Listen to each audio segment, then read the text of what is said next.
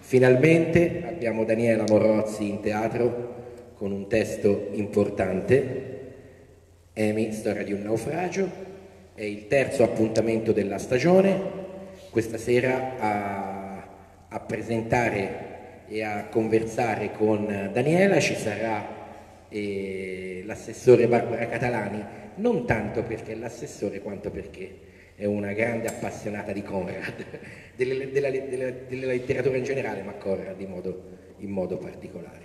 Niente, vi ringrazio per uh, la partecipazione, vi do appuntamento al 19 dicembre con il concerto di Natale, il laboratorio dello spettacolo il 28, non ve lo dimenticate, il concerto di Capodanno il primo dell'anno, il teatro invece la stagione ricomincerà il 13 gennaio con il Nodo, uno spettacolo con Ambrangiolini, ma soprattutto ci faremo prima dell'incontro una cosa particolare, alle 18 nel foyer faremo una performance dal vivo dell'artista che ha la mostra qui di Corbani, quindi farò una performance dal vivo dalle 18 alle 17.30 meglio, dalle 17.30 alle 18 e poi facciamo l'incontro. Nel frattempo, benvenuta Daniela, siamo felici di averti qua e do la parola all'assessore.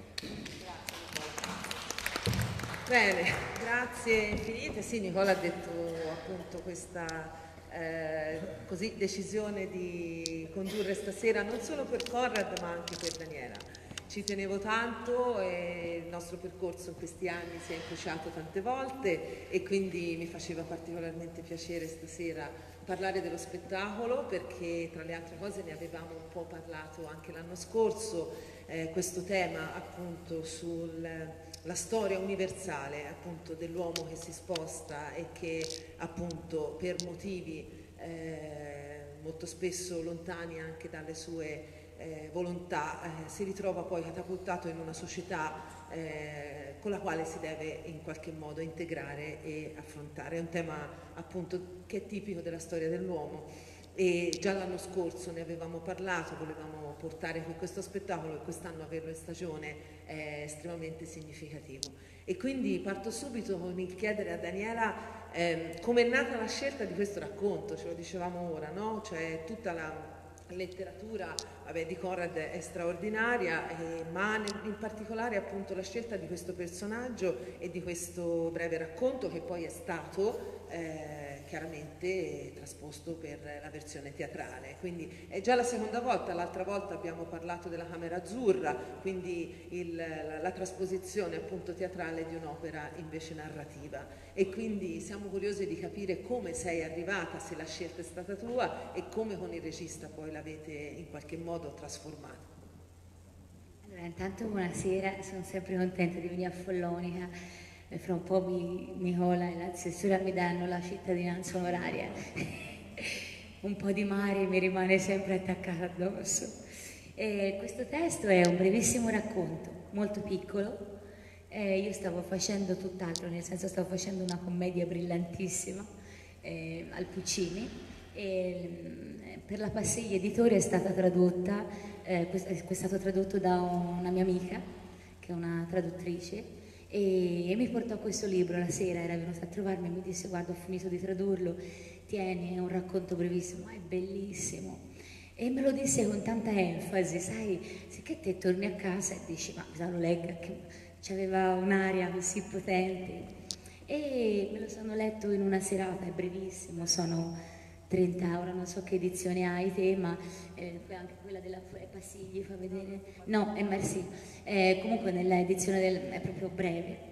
E, mm, e, fu abbastanza folgorante perché è una bellissima storia, una storia abbastanza tragica, però una storia davvero importante, come dicevi tu, proprio per quello eh, che racconta.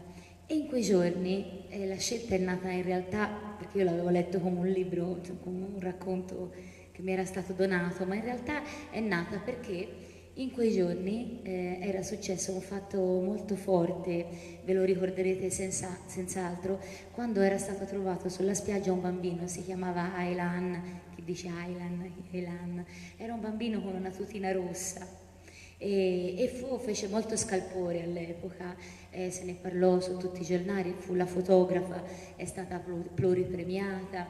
E io avevo per l'appunto in casa, siccome sono abbastanza amica di un giornalista del manifesto che si chiama Gabriele Rizza, lui aveva fatto un numero monografico, il manifesto aveva aperto la pagina con questa storia di Aylan. E, e io avevo per l'appunto un manifesto a casa e nel racconto di Conrad, siccome narra la storia di un naufragio, eh, di un naufragio di una nave di migranti che vengono dalla Germania eh, sono contadini che vengono dai Carpazi, quindi dall'est Europa, è stato scritto nel 1901, quindi all'inizio del secolo quando la gente si spostava soprattutto per cercare l'oro in America, molti andavano eh, là. E, mm, e c'è due frasi, sono proprio due frasi piccole, dove si narra che primo, sulla spiaggia il primo corpo che fu ritrovato era quello di una bambina, e nel suo caso era una bambina con le treccine bionde e una tutina rossa. E quando mm, lessi questa cosa e avevo questa immagine accanto, io pensai, oddio, questo testo è venuto a cercarmi, me l'hanno portato con enfasi racconta questa piccola storia e raccontava davvero un fatto, tra l'altro è un testo bellissimo perché è grande letteratura, eh, per chi non lo sa Conrad era polacco, eh, però scriveva in inglese, non era la sua lingua, eh, anche se ovviamente la parlava in un modo eh, scriveva benissimo, però il, il, mi è sempre piaciuto tanto Conrad, non so se anche a te, Forse anche perché non essendo la sua lingua una pulizia di linguaggio nella scrittura molto molto anticipa tanto gli scrittori del primo Novecento, proprio una scrittura abbastanza semplice e la sua forza è quella che lui non prende mai posizione, no? è uno che non traccia, traccia delle linee ma eh, sono linee sempre molto fragili, molto labili. E quindi c'era questo eh, fatto e io dissi ma che bella storia, sarebbe bella raccontarla. Da lì poi è partito un casino, perché era molto difficile, perché eh, intanto in Corrode c'è sempre il narratore, in questo caso spesso c'è il narratore, quasi tutti i testi, in questo caso il narratore è un medico condotto che racconta la storia di Amy e di questo straniero e io non potevo fare questo medico condotto tutto il tempo, cioè non me lo sentivo il mio personaggio, allo stesso tempo non potevo neanche fare Amy, perché Amy è una figura ipertragica, una figura di una donna eh, stolida, quindi abbastanza un po' la grulla del paese, l'abbiamo definita noi, eh, che si innamora, si innamora, diciamo, che ha una storia con questo uomo eh, naufragato. E quindi ad un certo punto avevo anche detto basta, no, non la faccio, non trovo come fare la trasposizione, cosa posso fare io. Poi una notte, boom, mi sveglio, sai quelle notti un po' dove arriva l'ansia, non so se a voi arriva, a me mi arriva spesso, e quindi mi sveglio e allora penso, no? E cerco di non pensare all'ansia e cerco di pensare alle altre cose. E, e ci sono sempre due righe, so 30 pagine in tutto, sì che è tutto due righe, perché anche Amy è un personaggio tratteggiato pochissimo non è la protagonista, il protagonista assoluto è lui e il medico. Amy è davvero sullo sfondo del testo. Se vi capita leggetevelo perché è veramente interessante anche come l'ha costruito. Ma che cosa fa questo naufrago? A un certo punto salva una bambina e la salva dallo stagno dei cavalli, lei stava per affogare. E io pensai, guarda, questo mi dà una grande libertà intanto di slegarmi da Conrad e poi pensai, essere salvati da un essere umano che viene considerato un animale in realtà per tutto questo piccolo paese coste, sulle coste dell'Inghilterra dove lui arriva. In realtà è un salvataggio anche non soltanto fisico, no? eh, da una morte certa, ma anche proprio eh, da una gratitudine, perché quando una persona ti salva tu non puoi che riconoscerlo come umano, è un atto di umanità massimo, no? E, questo no, che poi è tutta la diatriba di questi tempi, no? salvare o non salvare le persone in mare, rimandarle o non mandarle in Libia. In realtà io penso che se capitasse a qualcuno di noi, chiunque insomma, che ha un po' di, un po di buonsenso, eh, se vede una situazione e sente che può fare qualcosa, istintivamente l'essere umano ti porta a farla quella cosa, no? a salvare. E io ho pensato, ecco, forse questa storia può raccontarla questa bambina, che cresciuta ovviamente, immaginata da me, eh, che come lei avrebbe potuto raccontare questo testo. E quindi è un po' questa bambina mi sono sentita io che poteva raccontare questa storia che voi quando la leggerete è molto simile al testo, c'è tantissimo Conrad dentro, anche proprio come, come l'abbiamo scritto insieme a Valerio Nardoni, che è un poeta, un ispanista, insegna all'Università di Modena, un grandissimo scrittore. E lui, eh, con, che ha scritto anche Jean Coltrane, non so se qualcuno di voi ha visto Coltrane con Stefano Antini, eh, col Cocco, Ares, tutto il gruppo dei Living Coltrane, è sempre stato scritto...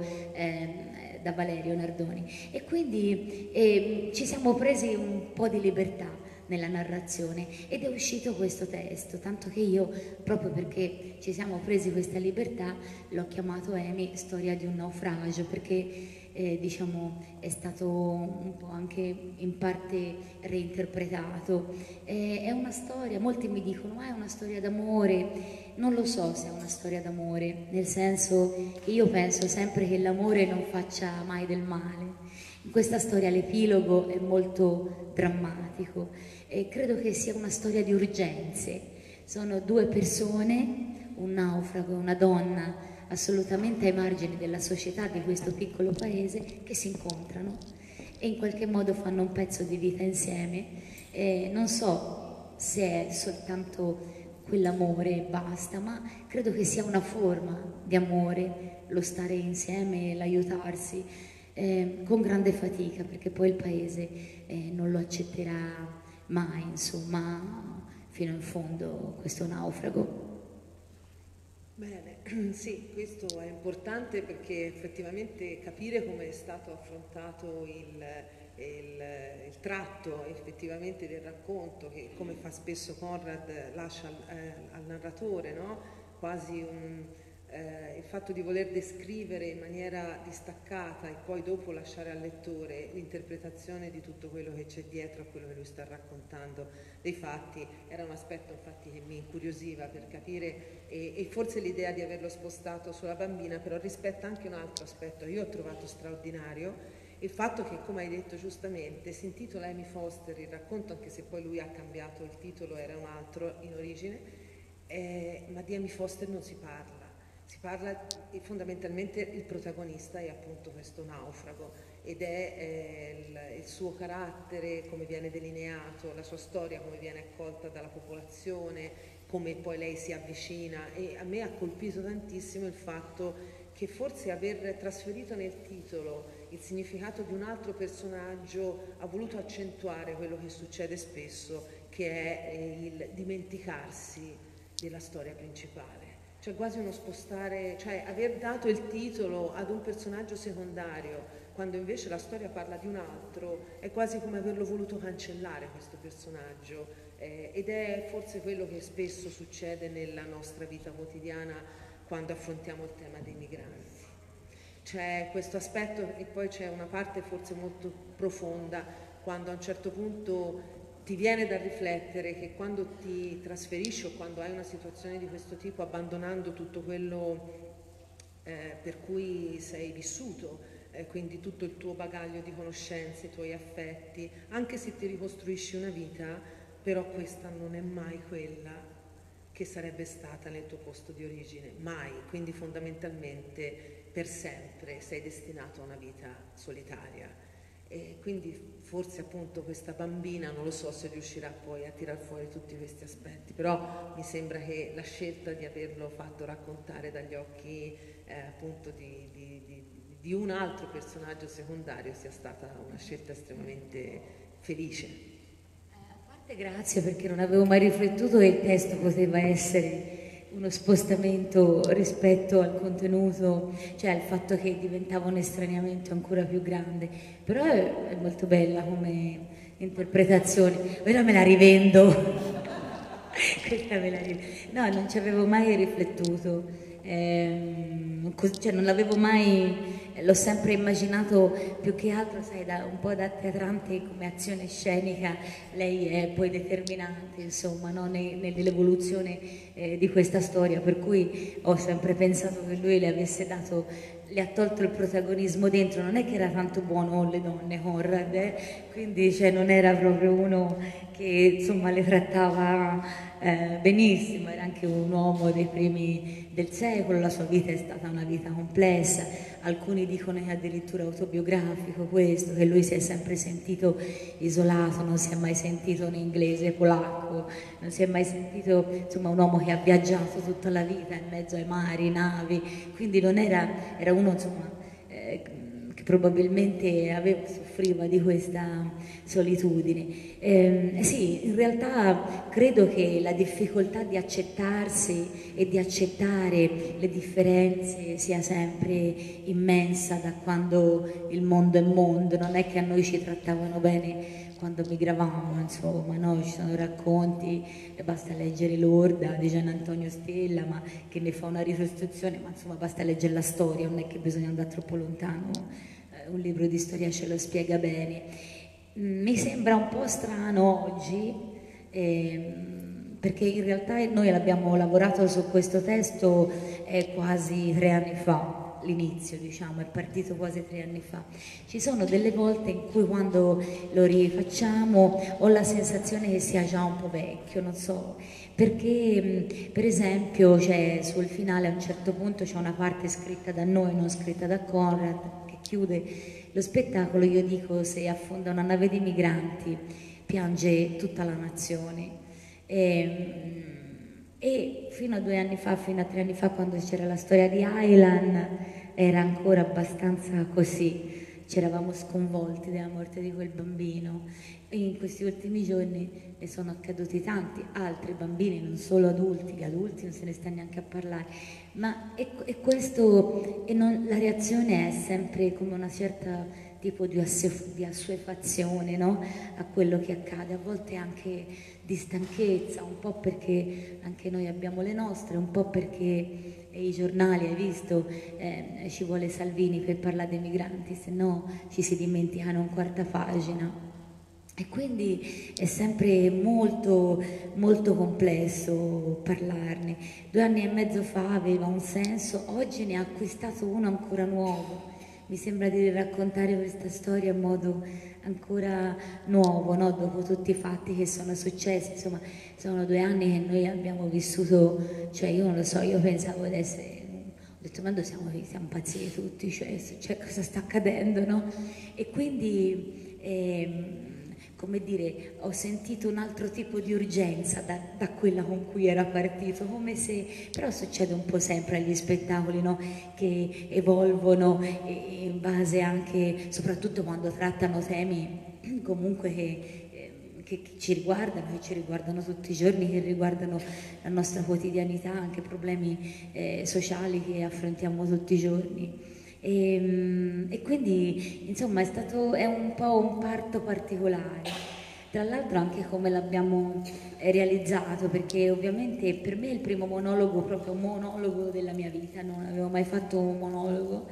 Eh, ho sempre pensato, lo penso tuttora, nonostante io abbia fatto il monologo, che il teatro sia collettivo per eccellenza, cioè nel senso che un conto è il racconto, un conto è il teatro, quando vedi c'è, c'è una parte immaginifica, magnifica del teatro a me tutte le volte quando vado e vedo tutti gli attori che si muovono, parlano, litigano, si amano, mi sembra una roba, ancora le macchinerie teatrali, un scena lira e quindi si, si riduce sempre di più, da 10 attori 8, poi 7, poi 6, poi 2, poi 1, poi fra un po' vi si racconta da casa, al telefono, volevo dirle la storia e quindi è sempre tutto molto complesso.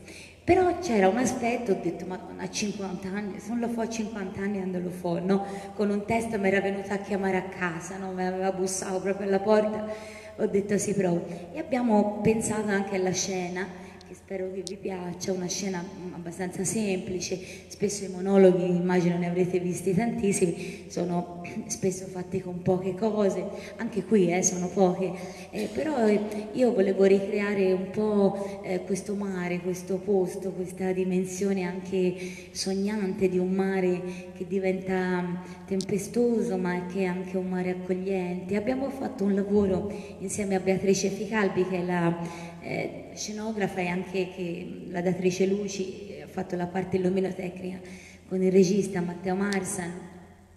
Abbiamo lavorato tantissimo stracci, dipinti, reti, abbiamo preso dei pali da una rimessa di legno, pali però vissuti, non sono scenografati quelli, e gli è stato dato solo l'ignifugo perché se non si lavora, però ehm, proprio siamo andati in una rimessa, scelti uno a uno, quello un po' più torto, avevano passato lì inverni, no? eh, che mi sembrava che ci avessero un po' di quest'uomo e di questo naufrago addosso, ecco. E quindi insomma è stato un percorso particolare, parecchio piacevole, insomma.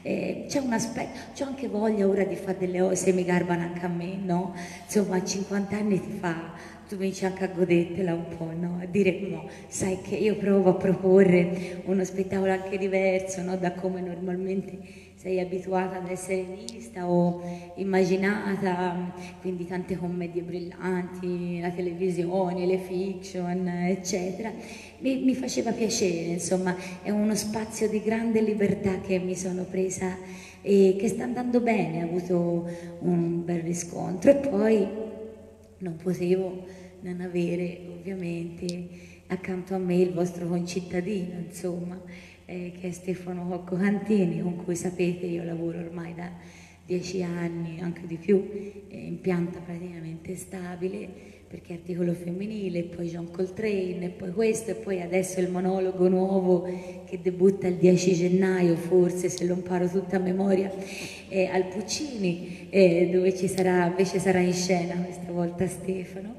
E poi avevo chiesto a Stefano, a un certo punto c'è un, un, pezzetto, lo sentirete sentirete una voce a un certo punto che canta in questo viaggio di quest'uomo, durante il viaggio che lo porta dai Carpazi, poi la Germania e poi le coste dell'Inghilterra, di Valentina Toni, anche lei eh, che trovo sia una voce straordinaria, ogni volta mi commuove. E quindi insomma è stato un po' follonichese in qualche modo. Eh, tra l'altro è stato interessantissimo come abbiamo lavorato con Stefano, ogni volta cambia, perché io l'abbiamo scritto insieme a Valerio Nardoni, riguardato con la regia di Matteo e poi siamo andati a casa di Stefano e io l'ho letto e lui ha suonato. Non è che ha detto, gli ho detto ti mando il pezzo, noi non riusciamo, sai, eh, tanto e le ha suonato e aggiustavamo e lui diceva qui ci sento questo, poi si è pianto, poi in alcuni momenti si è riso perché io ancora non ce l'avevo per cui mi viene da piangere ogni riga. E quindi insomma è stato proprio un parto in divenire. E poi dopo lui l'ha risistemato, ovviamente risistemato le musiche. E le musiche sono sempre importanti, c'è degli spettacoli con delle musiche tremende che uno dice ma è musica brutta e invece ecco grandi musicisti come eh, Cocco ti permettono poi di avere sempre una grande qualità, no? Eh, quindi anche se te, insomma, è un po' come Shakespeare, capito? Tanto si casca sempre ritti quando si fa Shakespeare, no? Una volta, una volta avevo fatto eh, Riccardo III e anche lì tutto da sola, insomma, con dei musicisti. E una mi disse, ma c'ha paura, ma tanto c'è Shakespeare, ma che paura vuoi abbia? Le parole sono talmente belle, le posso anche di male, tanto lui riesce a chiacchierare da solo, indipendentemente da me. Per cui, come dire, ti deresponsabilizzi, no? Ecco, il cocco mi deresponsabilizza sempre, perché poi riesce sempre a fare eh, una qualità musicale talmente... Sì, anche come nasce proprio, è proprio viscerale, non, non c'è niente di nato strutturato, era proprio sulla parola, sull'onda dell'emozione che arrivava lì, quindi è stato proprio bello, un, un bel momento, insomma, eh, proprio per noi, come lo sarà anche col monologo prossimo, insomma, è un rapporto proprio loro, i jazzisti lo chiamano interplay, no? che vuol dire suonare insieme, sentirsi, suonare insieme.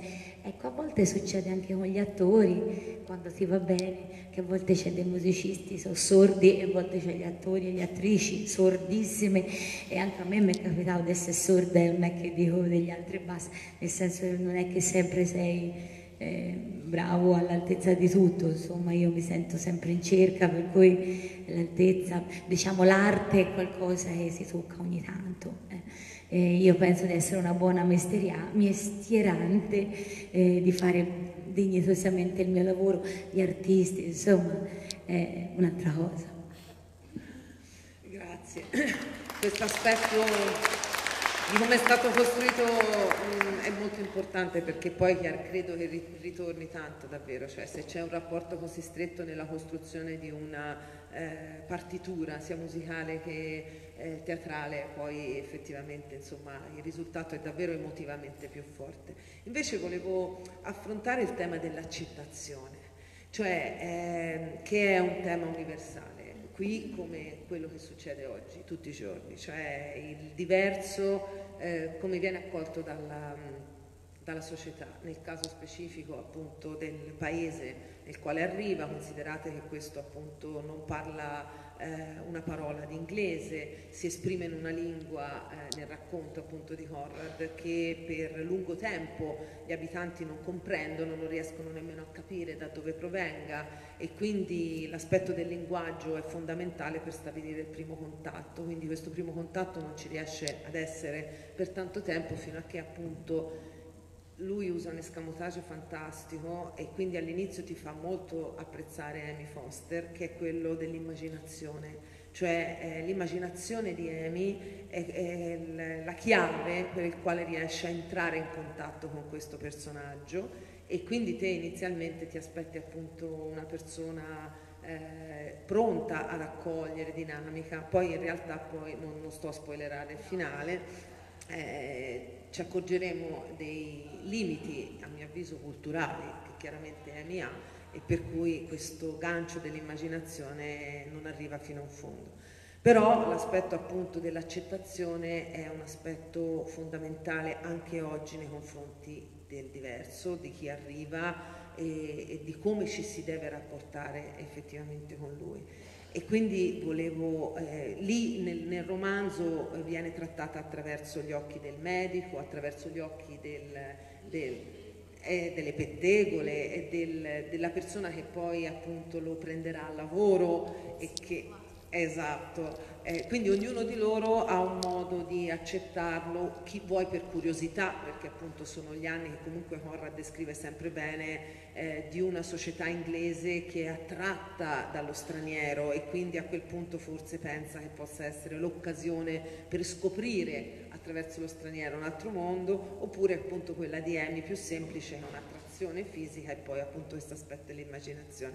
Ecco, questo aspetto dell'accettazione viene quindi, e quindi i diversi modi per cui ciascuno di loro si è interposto con lo straniero viene affrontato nel, nel lavoro teatrale. Sì, viene affrontato in molte parti, per esempio anche lì pochi spunti che Conrad dava io li ho ampliati, per esempio a un certo punto eh, quest'uomo dice, c'è questo vecchio Swaffer che poi è il nonno della bambina che viene salvata di questa Berta che poi è la protagonista nel mio spettacolo, non nel testo. E, mm, praticamente a un certo punto dice, il dottor Kennedy dice non so se il signor Swaffer abbia mai capito di quanto eh, quest'uomo lo considerasse come un padre, no? cioè era l'unico che se l'era preso con sé e io lui ci ho scostruito un piccolo pezzo insieme a Valerio, quello in realtà l'ho scritto proprio io, in cui eh, a volte trovi dei nuovi padri da qualche parte nel mondo, no? delle nuove madri, eh, capita di trovare degli amici. L'accettazione è un problema grandissimo. Non so, io mi piace sempre non chiamarci diversi ma differenti, perché eh, l'unica diversità che io riconosco è solo biologica fra l'uomo e la donna, nel senso che uno ha il pisello e quell'altro ce l'ha E, e questa è la diversità massima, la cosa che ci incasina di più nel mondo, perché riuscire ad avere una relazione dignitosa eh, con l'essere diverso, cioè il maschio per noi e voi per la donna, è complesso. Mm, è difficile accettare eh, delle persone che vengono da un altro mondo, che vengono da un'altra cultura, che, vengono, eh, che hanno un'altra lingua, che hanno... Eh, io insomma ho girato abbastanza, mi ricordo un periodo in Congo, ehm, avevamo aperto un ospedale per i bambini sordi in Congo, per cui ci sono stata quasi un mese e mezzo, c'era delle volte era anche molto difficile capirsi, ma capirsi proprio rispetto per esempio al lavoro, no? Cioè hanno un modo di vivere la giornata, il tempo, la vita eh, completamente diversa. E, e, io dicevo ma guarda ma rimetti a posto quell'armadietto, ma lui non lo vedeva nemmeno questo armadietto, proprio, eh, nel senso che per lui non era così importante, forse non l'ha mai avuto un armadietto, capito? Quindi c'era la mia, ero io, contro, cioè, ero, ero io contro di lui e lui contro di me, perché come mi disse giustamente un ragazzo di colore, guarda, che noi per voi siamo neri, ma voi per noi siete bianchi, eh? cioè nel senso che non è che eh, di, insomma, eh, diversi, cioè, la, le differenze, le complicazioni sono da tutte e due le parti.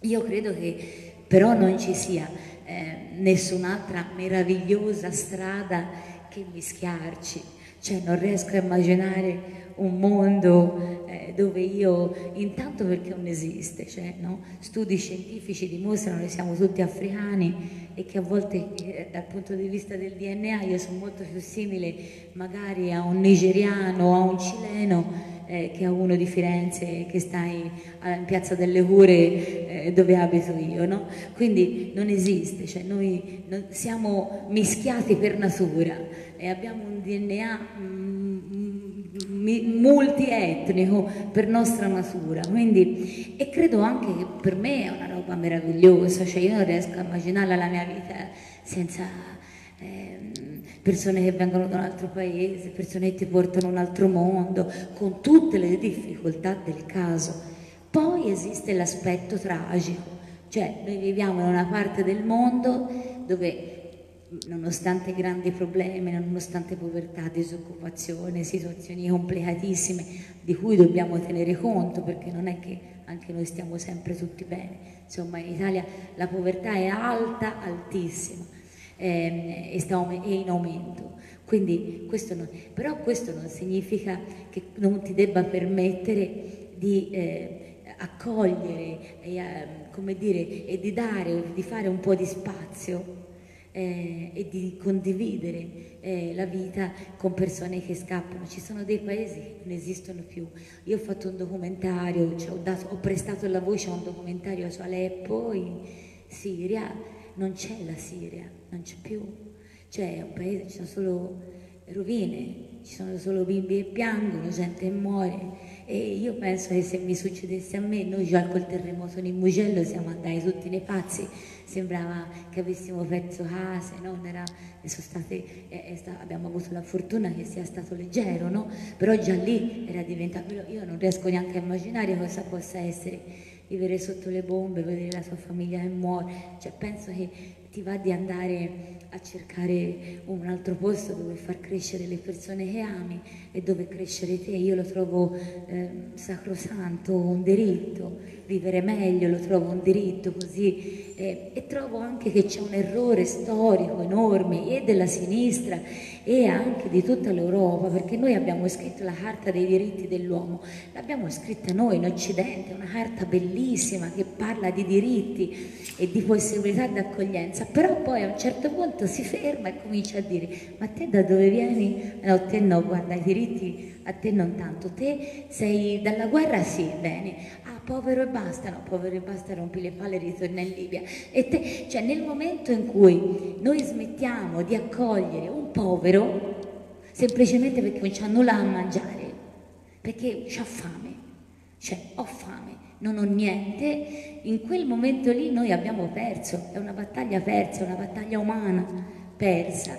Per cui credo che sia l'unica possibilità che abbiamo, quella di aprire le braccia e cercare con una politica sicuramente è difficilissimo, io non vorrei essere qualcuno che amministra, Non, a Castelnuovo hanno preso dei ragazzi stranieri e non è stato detto per mesi, perché lui li ha accolti, però non sapevano come avrebbe reagito la popolazione, è compleato, eh. avevano un posto dove potevano stare, poi ci sono speculazioni nel nostro paese, il mondo sta cambiando, però noi abbiamo vissuto una generazione, io insomma a 50 anni immagino anche voi, insomma siamo tutti abbastanza attempati, non vedo pischelli di 20 anni, sì uno laggiù, ecco uno laggiù lo vedo, però anche meno di 20, quanti scenari amore? 17, eh, però noi abbiamo vissuto una generazione dove si buttava giù i muri. Cioè, il mio zio era stato a Dachau, tornò, era 36 kg con efisema polmonare, eh, non è mai più guarito, insomma, no? Cioè, eh, due fratelli di mio babbo furono portati in Germania, cioè, eh, abbiamo buttato il muro di Berlino, la guerra fredda, cioè, noi abbattevamo, cioè, abbiamo vissuto l'inebriato, eh, siamo stati inebriati anche dalla possibilità di rompere le frontiere, l'Europa. Vi ricordate quando si andava in giro, cioè che ci schedavano a tutte le frontiere, sembrava di essere e cambia soldi e leva i soldi. Cioè questa grande possibilità di avere una terra comune, una possibilità di spostarsi. Mio nipote in Inghilterra, ha studiato a Cambridge, ora lavora là, sta là con la sua fidanzata, cioè, ce l'ha, c'ha possibilità, no? Ora non capisco perché questo debba essere negato a metà dell'universo, a metà del mondo questo non è possibile, per cui anche se spendono 5.000 euro per mandarli su un barcone diventano tutti poveri perché non so se sapete come funziona, ma tutta la famiglia, spesso allargatissime, mettono i soldi da parte, scelgono, mm, te mi sembri il migliore, il più intelligente, secondo me ce la puoi fare, investono tutto su di lui, lui parte con un senso di colpa pazzesco perché tutti si sono levati tutto per darlo a lui, quindi, o a lei, ha ora tante donne perché la migrazione è molto femminile e quindi deve cercare di restituire questo per migliorare casa sua ed è tutto molto molto difficile allora penso mi chiedo dove sta eh, la, cioè, la difficoltà di progettare delle possibilità nuove. Non lo riesco a capire, io sono onesta. Cioè, penso che uno che fa politica dovrebbe saper fare questo, dovrebbe saper vedere avanti, essere anche un po' poco popolare e dire trovo soluzioni. Ci sono, io sono sicura che una soluzione c'è. E prima di tutto culturale, è vero, poi c'è anche le urgenze pratiche che per cambiare la cultura ci vuole un sacco di tempo. E come gli dissi a una si parlava della questione di genere, uomini, donne, parità di diritti, parità di salario e una fa un problema culturale, sì ho capito, ma intanto scrivi per legge che lei deve guadagnare come lui, ma non è bello, ma non me ne frega nulla, a me me lo metti la quota rosa, poi dopo quando lei guadagna come lui si starà a vedere, insomma, se ne ridiscute dopo, ma tanto se deve aspettare che stiamo. Poi il lavoro va fatto, io vado nelle scuole, così come me, anche persone molto più autorevoli lo fanno. Però ecco, credo che questo sia un problema, credo che noi dobbiamo cambiare la mentalità e non mi va bene soltanto, perlomeno per me, parlo per Daniela, dire sempre ma è successo anche a noi, ma cioè, non è perché mi è successo, è perché è così che si fa. È così che siamo brave persone, è così che siamo delle persone per bene, delle persone che vedono gli altri, che non vivono nell'indifferenza, come diceva il nostro Gaber e che lo fanno perché ha un senso. Poi non posso dirvi che anche a me non mi rompe le palle trovare tutte le volte quelli che per la strada ti chiedono i soldi, a volte gli dici di no, non tutti so per bene, c'è delinquenza da loro che c'è da noi, insomma con tutti i problemi del caso e con le differenze, però poi arriva un momento che se è nero è nero cioè qui siamo ancora a discutere se il colore della pelle va bene o no, perché poi ti sembra sempre un problema lontano. E due settimane fa sotto il sottopassaggio di casa mia, un sottopassaggio particolare, anche voi avete un posto dove avete fatto i murales, vero? Eh, e lui praticamente sotto questo sottopassaggio c'è i murales e cambiano in continuazione, c'è uno è un uomo abbastanza borderline che lo tiene e poi c'è sempre un ragazzo di colore delizioso, uno di quelli proprio divertenti, sai, molto simpatico davvero, una persona piacevolissima che saluta tutti, c'è una scuola vicina, cresce tutti i ragazzi, lo.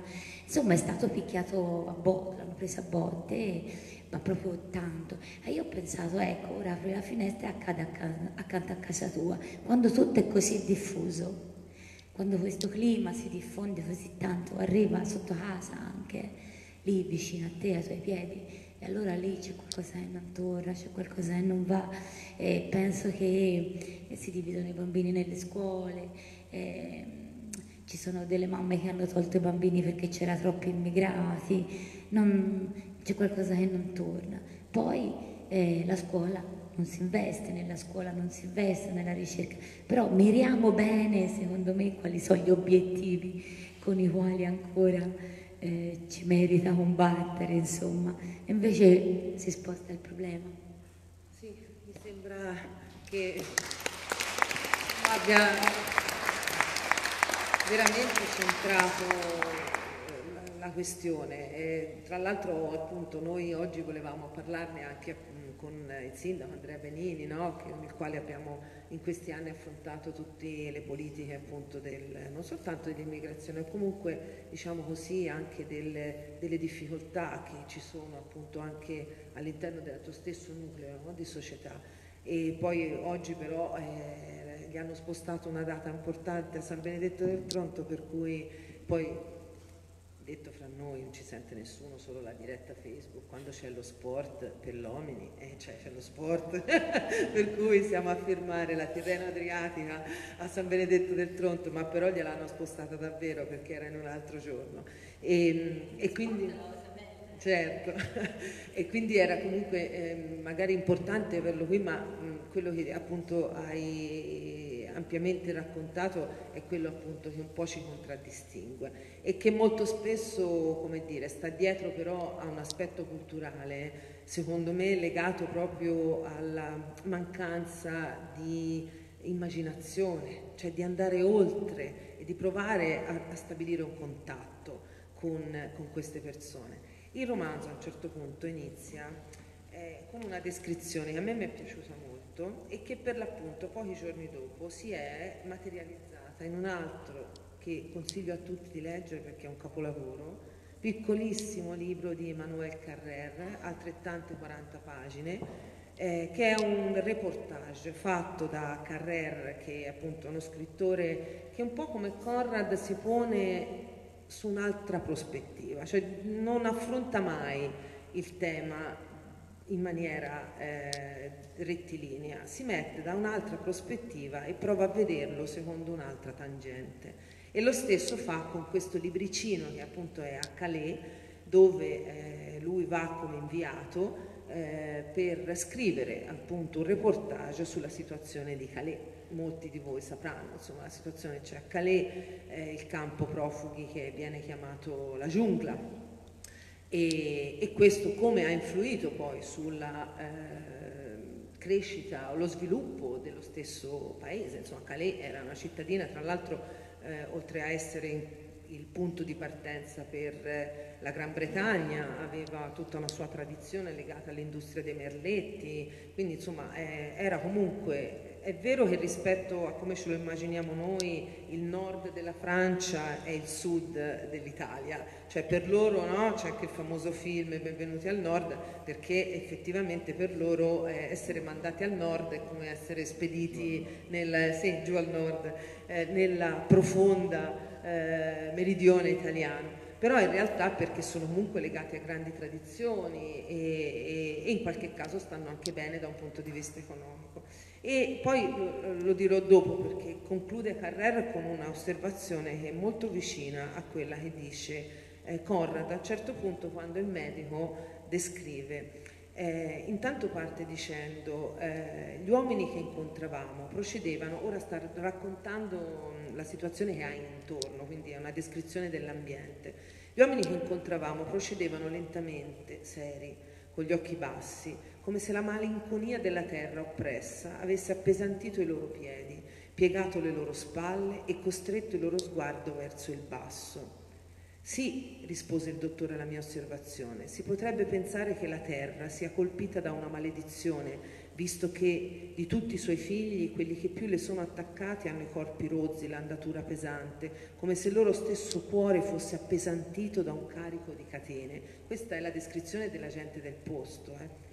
Eppure qui, proprio su questa strada, tra questi uomini grevi, avresti potuto vedere un essere agile, flessuoso, con gambe e braccia lunghe, dritto come un pino, con qualcosa nell'aspetto che tendeva verso l'alto, come se il cuore dentro di lui fosse in grado di galleggiare. Quindi il nostro naufrago è descritto in contrasto con la popolazione del luogo come un essere pieno di gioia. E Carrer chiude, a parte alla fine ti ci porta a questa conclusione dicendo la stessa cosa, cioè quello che c'è nella giungla e che si respira è l'energia della vita, in contrasto con tutta la città intorno che invece è cupa, morta e, e invasa dal senso della paura. Quindi forse questo cambiamento di prospettiva alle volte ci pone di fronte a questa domanda. Quindi la nostra paura può essere generata dal fatto che vediamo in chi arriva un'energia, una forza, una vitalità, un desiderio di ricerca che forse qualche volta noi abbiamo dimenticato. Che bello, ora mi tocca leggere Ali, non c'ho tempo in questo periodo.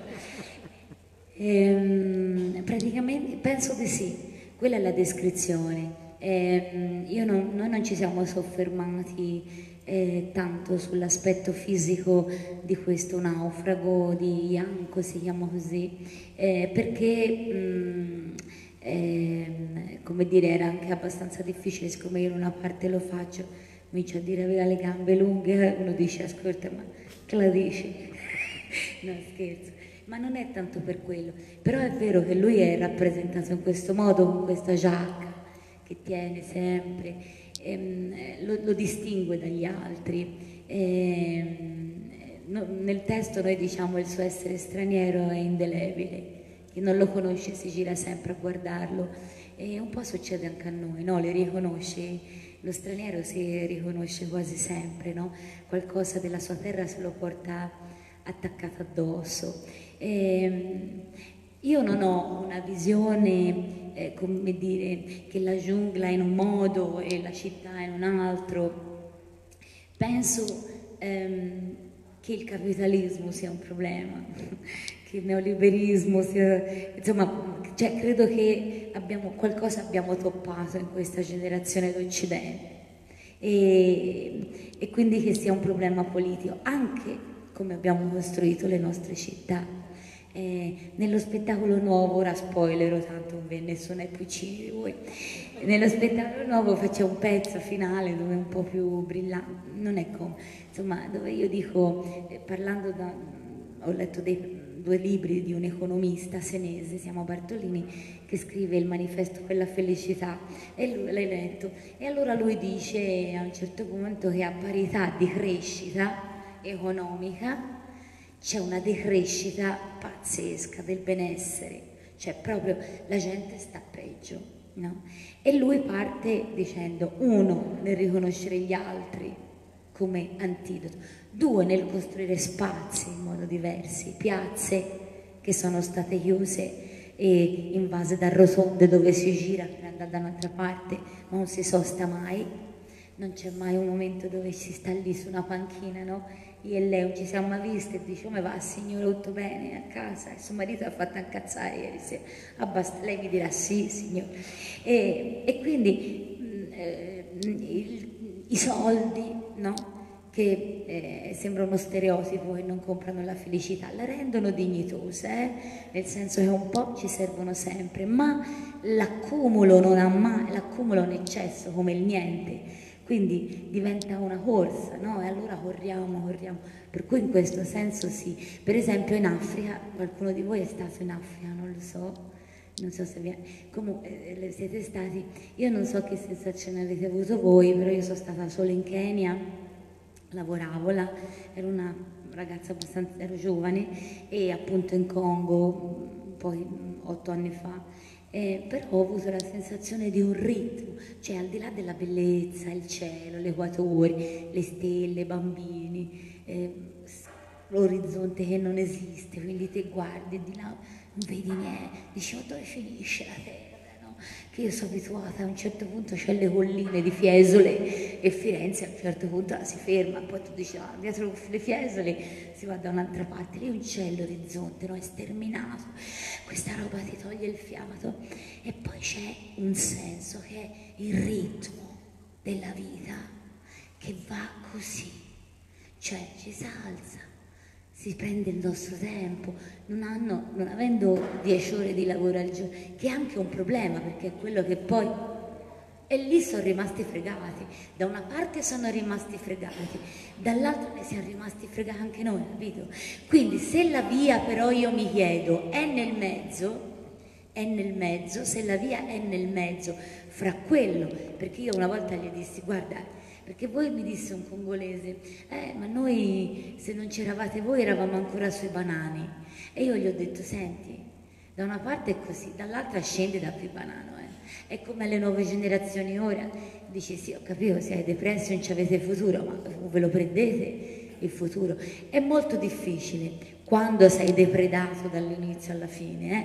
perché basta andare in una miniera di coltan dove c'è i bimbetti così che lavorano e muoiono a grappoli, devo dire, oppure quando l'Enel va a fare, eh, mettere l'acqua e che, che, in zone dove stavano benissimo non avevano nessuna intenzione di venire da noi, che non hanno più acqua, non bevano e non riescono più nemmeno ad irrigare, solo perché devono fare pozzi e far passare l'acqua per altre parti dove ci sono i soldi, quindi insomma la storia è, è molto complessa. Detto questo c'è una parte in cui sono stati fregati, non c'è dubbio, però c'è un'altra parte che per te che arrivi da una corsa frenetica tutti i giorni, no? E corri, corri, dove si va?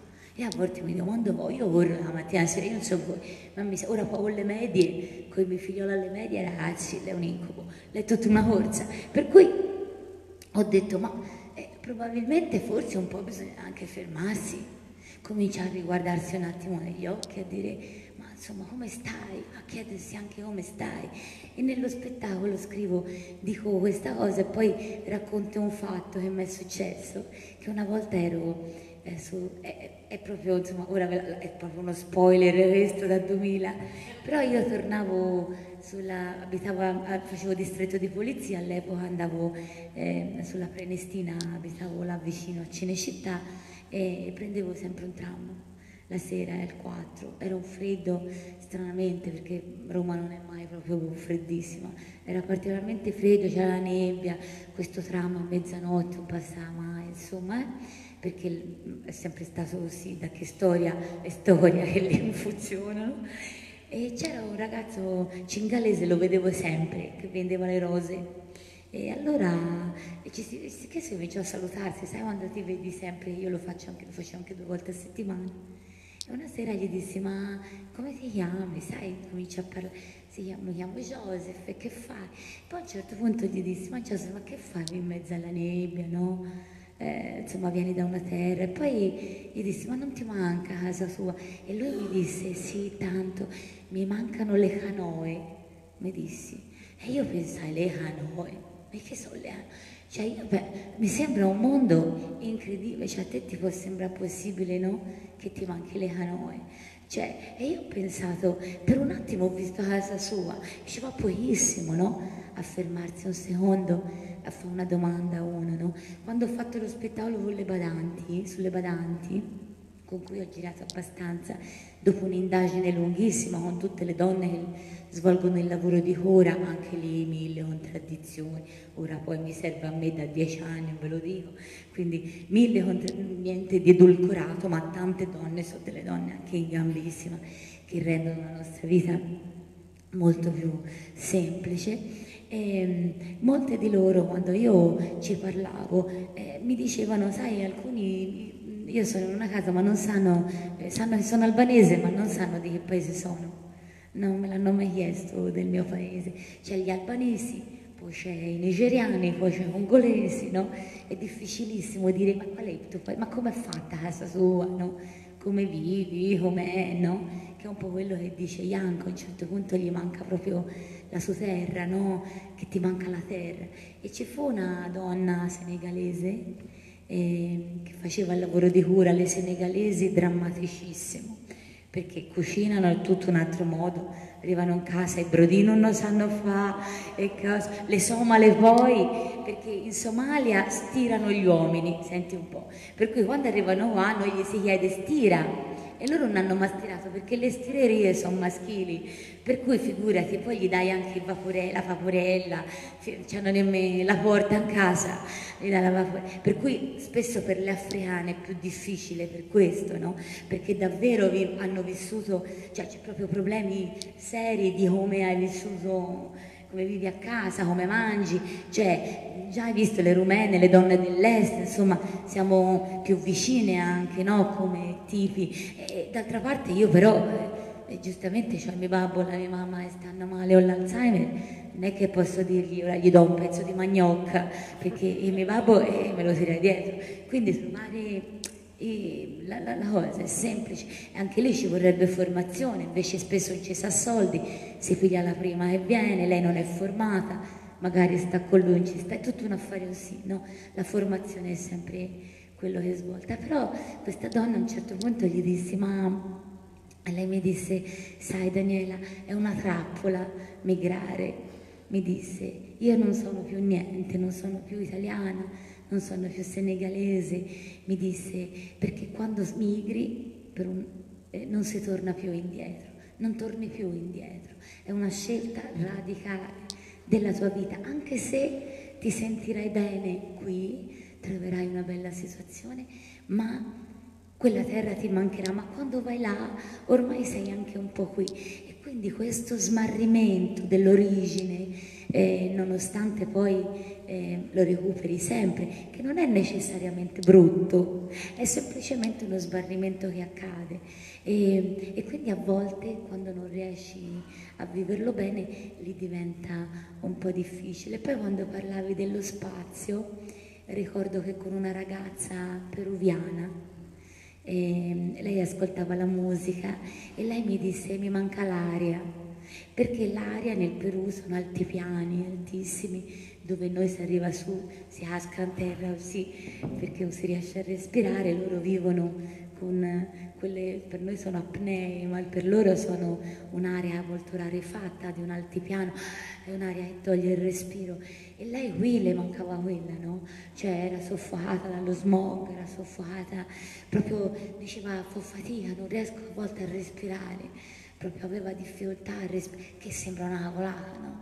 Cioè, è come quando gli dici via, mangia un pochino di maiale, eh, ma, cioè, oppure via, eh, mangia l'olio, ma eh, l'olio per loro si devono abituare lentamente tantissimi, no? Che hanno l'olio, non è che hanno l'olio d'oliva, capito? Quindi è un casino. Come noi quando siamo andati là è tutto stato molto lento, no? un processo lentissimo eh, io ero con la, con la mochina fissa, no?